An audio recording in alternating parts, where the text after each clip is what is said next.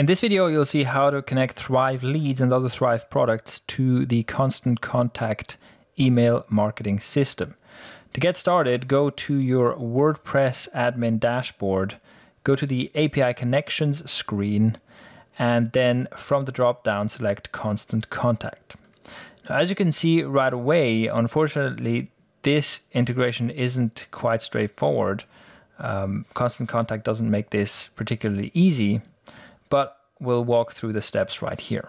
So you follow this link, which takes you to the place where you need to register an account for the Constant Contact API. So this is separate from your account for Constant Contact itself. Here, you just fill out these forms with your information to create this API account. So I won't walk through every field.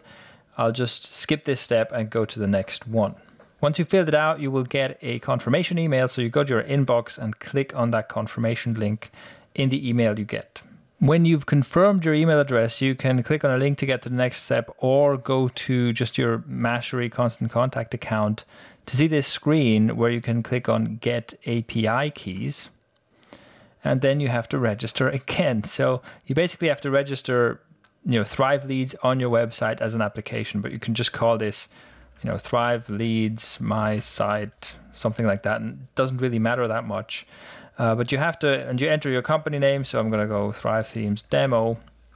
And the website, so the website where this will be used. I'm going to use one of our demo sites here for the demonstration. And then application description uh, used for showing Thrive leads opt-in forms on the website.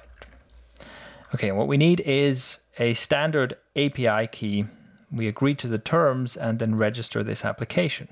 And now we get some information. The first one we need here is the API key. So we copy this API key. We go back to the WordPress dashboard and we paste this key in here. Next, I click on this Get Token button.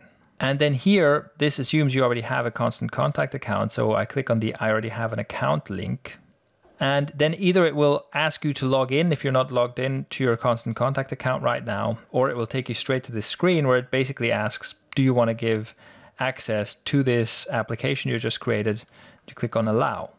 And then you get a token. So you copy this token and you paste it in here, and then we are ready to connect to constant contact. You will get this success message here to confirm that it worked and in your active connections you will find constant contact listed.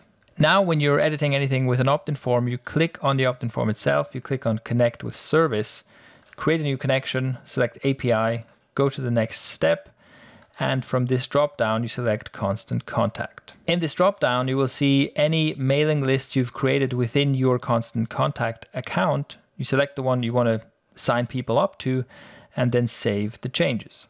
Now on this screen, you can make some basic changes to how the opt-in form appears. For example, you can choose to show or hide a name field.